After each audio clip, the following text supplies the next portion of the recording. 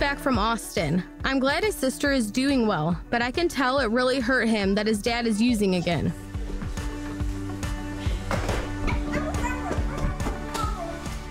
Today's just the day to get puked on, guys. Oh, yeah.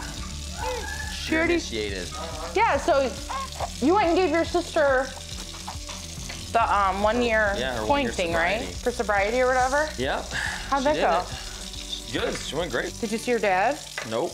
You didn't see him at all? dad, No. I asked him. I said, I, I figured he was gonna come to Amber's thing, He didn't come at all. but he didn't go to Amber. Amber's, are you coming? He's like, no, no one was at my one-year sobriety thing. So. Oh God.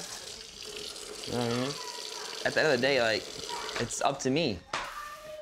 Am I really gonna let this, you know, person's addiction completely, you know, affect my life so much? Unless it, I mean, it's yeah, gonna affect if it is affecting it in a negative but- way, then that's when I feel like then you need to cut it off. But I feel like we've been dealing with Butch since we were in middle school or high school. I remember Butch getting in and out of prison. I've been doing it my whole life. Ten- so it's like 10 years of dealing with hearing about Tyler's drug addict loser dad.